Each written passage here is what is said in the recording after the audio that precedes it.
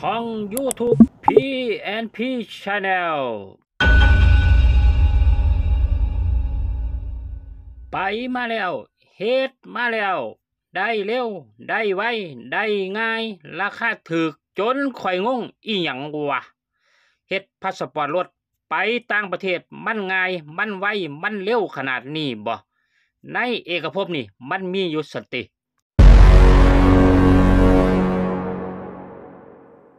บ่เคยเห็นก็ต้องเห็นบ่เคยเสือก็ต้องเสือนี่คือระบบ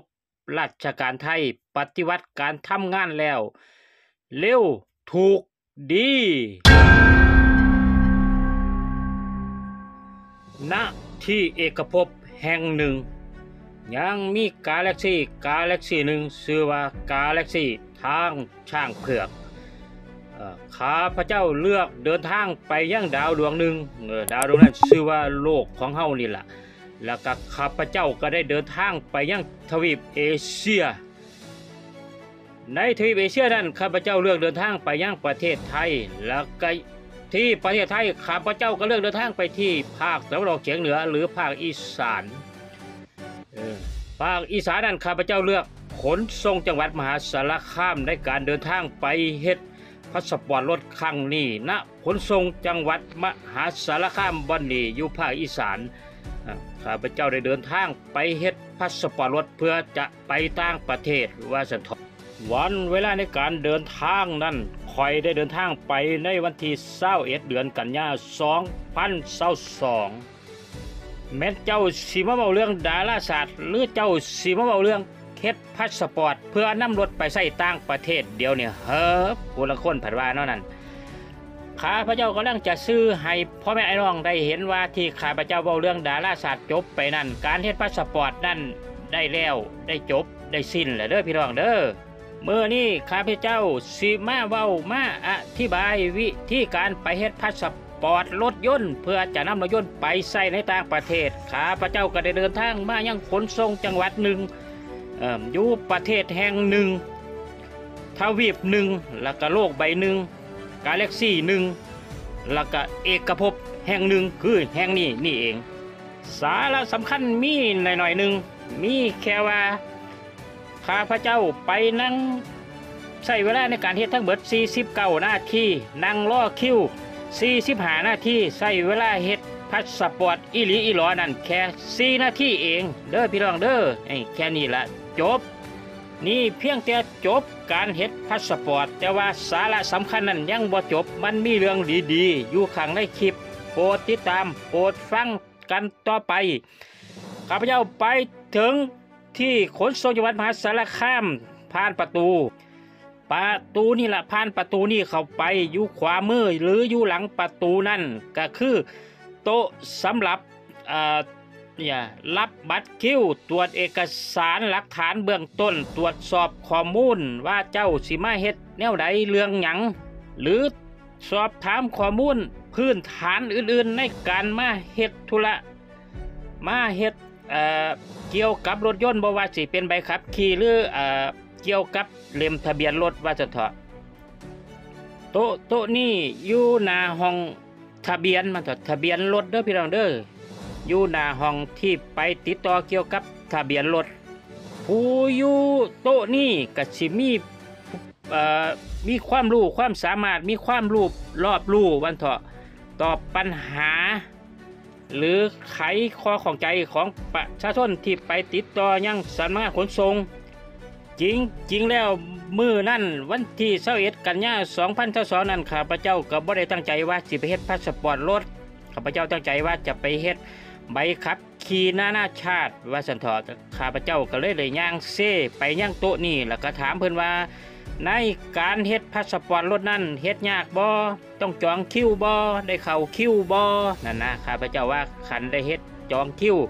กสิขอคิวกสิขอนัดประมาณนั้นว่าซั่นเถาะแต่เจ้าหน้าที่ผู้มีความชำนาญการที่นั่งอยู่โต๊ะนั้น เพิ่นก็ได้ขอเอกสารหลักฐานเฮาไป เอกสารหลักฐานในการเฮ็ด เล่มทะเบียนใบอนุญาตรถระหว่างประเทศนั้นมีหยังแน่หลักๆก็คือเล่มทะเบียนรถนะ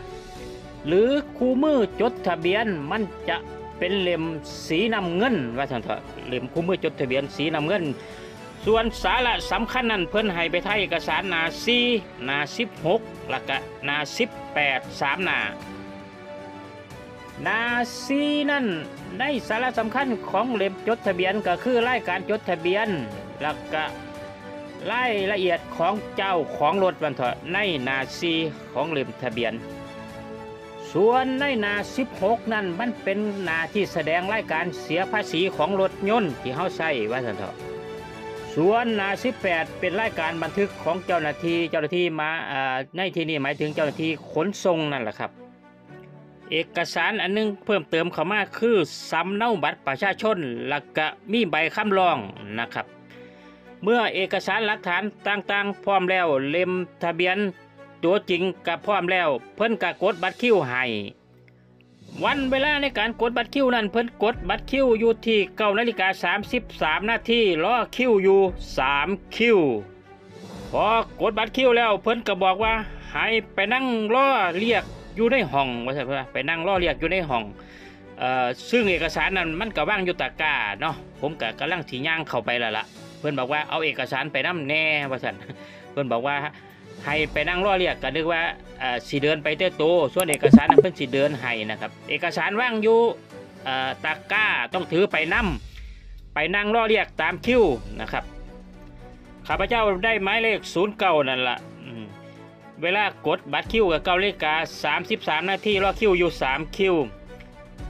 ทุกท่านจะสังเกตเห็นว่าในบัตรคิวนี่ระบุเลยว่าติดต่อที่ช่องหาช่องหาคือช่องซ้ายสุดในจอตอนนี้เนาะนี่คือบรรยากาศในห้องทะเบียนนะครับของสำนักงานขนส่งแห่งหนึ่งนะครับบรรยากาศโล่งโปร่งนะครับบ่แออัดคนบ่หลายนะครับไปเมื่อนั้นวันที่เศร้าเอ็ดนั่นน่าจะเป็นวันวันพุธนะครับ เป็นกลางสัปดาห์คนบ่เยอะคนบ่มากคนบ่ไม่บ่แออัดนั่งสบาย นั่งรอคิ้วไปอยู่ประมาณ45นาทีก็ถูกเรียกตัวเข้าไป ไปยังช่องหาเจ้าหน้าที่อยู่ช่องห้าเป็นผู้ชายเอ่อมีมนุษยสัมพันธ์ที่ดี เพิ่นก็ได้สอบถามว่า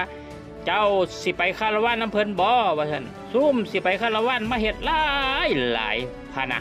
มาเฮ็ดพาสปอร์ตรถเพื่อจะไปคาราวานต่างประเทศ เจ้าสิไปเมืองใดเจ้าสิไปแขวงใดว่าซั่นเพิ่นถาม แล้วเพิ่นก็ได้สอบถามอีกเพิ่มเติมว่า เจ้าสิไปเมืองใดว่าท่านอันสิ่งที่เพิ่นบ่ได้ถามข่อยนั่นก็คือเพิ่นถามว่าเจ้าสิไปประเทศใดเพิ่นบ่ถามเลย เพราะว่าเพิ่อนเห็นหน้าตาแล้วเพิ่อนก็บ่ถามเพิ่อนเพิ่อนรู้เพิ่อนฮู้เพิ่อนเข้าใจเลยว่าหน้าเราเล่าคงจะไปประเทศเล่าละมั้งเพิ่อนก็สิคิดเอาประมาณนั้นเนาะเจ้าหน้าที่ที่เป็นผู้ชายอยู่ช่องหามือนั่นเนาะเอ่อก็แสดงให้เห็นว่าเพิ่อนมีมนุษยสัมพันธ์นะครับ เพิ่อนเจรจาปราศัยนะครับ เพิ่นคุยจริงๆแล้วบ่ได้สอบบ่ได้ถามเพิ่นมันก็ชวนคุยเนาะเพิ่นบอกว่ามีคนมาเฮ็ดหลายหลายพาสปอร์ตเขาสิไปคาราวานว่าซั่นถามว่า คาราวานก็คงจะเป็นคาราวานในสปปลาวนั่นล่ะครับข้าพเจ้านั่งอยู่เก้าอี้ณช่องห้าบ่อนนี่ก็อยู่ประมาณห้าถึงเจ็ดนาทีครับพี่น้องแต่ว่านั่งรอคิวสามคิวนั่นใช้เวลารอถึง45นาทีเลยที่เดียว ซึ่งข้าพเจ้านั่นก็ได้สอบถามเพิ่นอยู่ว่าอันอ่าสิได้มือไหนครับ หนังสืออนุญาตที่ว่านี่เพิ่นบอกว่าเดี๋ยวก็ได้เดี๋ยวก็ได้ว่าซั่นเขาว่าเดี๋ยวก็ได้นี่ มันมันมันแต่ละคนเนาะมันเดี๋ยวคนละเดี๋ยวเนาะ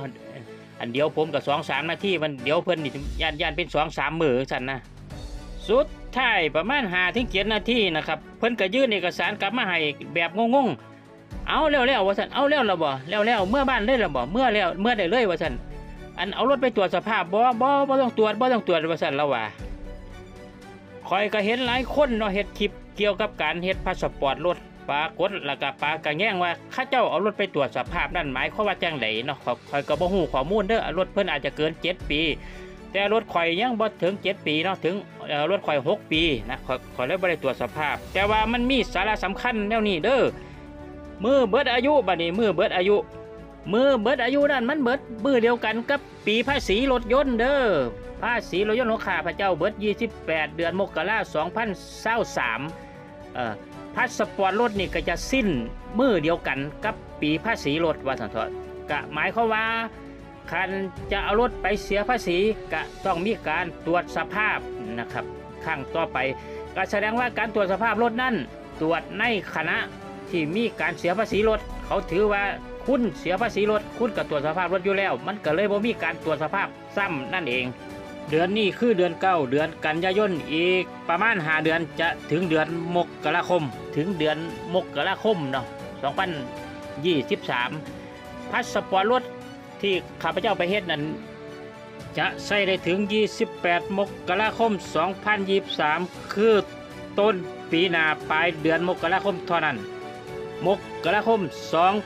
2023 แล้วก็สาระสำคัญอีกอย่างหนึ่งก็คือ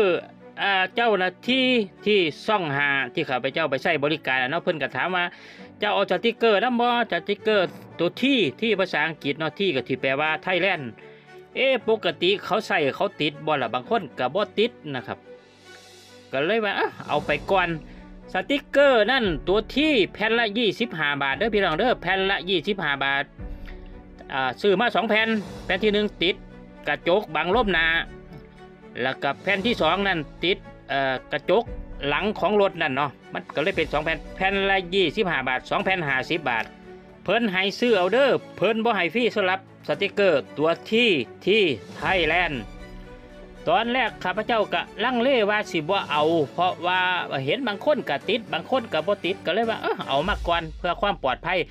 ปรากฏแล้วก็ปากระแย่งว่าในนาที่ 18นะครับของเหล่มคู่มือจดทะเบียนนะครับ เพิ่อนบอกว่าอ่ารายการบันทึกของเจ้าหน้าที่ในหน้า18นะเพิ่อนบอกว่าหนังสืออนุญาตรถละวางประเทศ และเครื่องหมายแสดงประเทศพะนะเครื่องหมายแสดงประเทศก็แปลว่าตัวที่ที่เป็นสติ๊กเกอร์ที่สีขาวนี่แหละครับ ตัวที่ตัวนี้แหละที่ว่า แสดงว่าต้องเอามาต้องใส่ต้องติดถ้าแล้วขันว่าแนวนั้น สาระสำคัญอีกเรื่องหนึ่งอย่างหนึ่งประการหนึ่งก็คืออทะเบียนทะเบียนสากลนะป้ายทะเบียนสากลนั่น ก็ได้สอบถามเพื่อนว่าผมจะได้ป้ายทะเบียนสากลบ่เพื่อนว่าบ่ได้รถเจ้าทะเบียนกอทมเนาะกทมคุณต้องไปเฮ็ดยังกอทมคุณถึงจะได้ป้ายทะเบียนนั่นว่าสันเพิ่อนเพิ่อนตอบแนวนี้เด้อเจ้าหน้าที่เด้อคันแม่นได้ผมก็บ่เอาดอกผมบ่าอยากติดป้ายไอ้แนวนั้นอยู่แล้วนะนะขี้ข้านแกะเพราะว่าป้ายแนวนั้นมันก็ขี้เลียนในไทยแล้วมันขี้ข้านแกะขี้ข้านลือถอดออกถอดเข่าวุ่นวาย สรุปค่าหนังสืออนุญาตรถระหว่างประเทศ ค่าธรรมเนียม 55 บาท ค่าสติกเกอร์แสดงเครื่องหมายประเทศ หรือสติกเกอร์ตัวที่ 50 บาทร่วมเป็น 100 กับ 5 บาทเท่านั้นเอง ทั้งถูกทั้งเร็ว ทั้งไว ไปได้เฮ็ดได้เลย ไปเดี๋ยวนี้เฮ็ดเดี๋ยวนี้ แต่เอกสารหลักฐานต้องครบ ขอบคุณทุกท่านที่เข้ามาชมเข้ามาเบิ่งเข้ามาติดตามต้อนรับคำขึ้นนี้ขอให้นอนรับฝันดี ฝันเห็นผีตัวใหญ่ๆสบายดี